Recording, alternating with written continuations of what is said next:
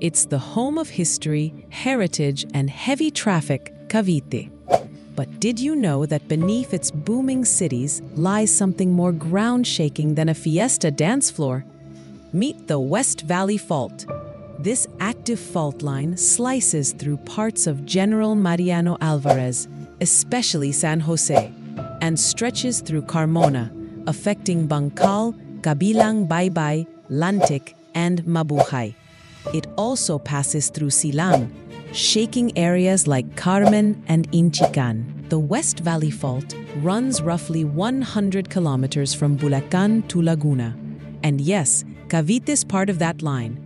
According to PHIVOLCS, it shifts every 400 to 600 years, and the last big one struck around 1658. Before you start packing your bags for another place, relax.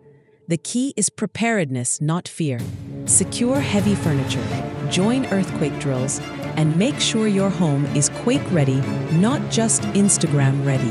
The West Valley Fault in Cavite is real, but with awareness and preparation, we can all stay safe.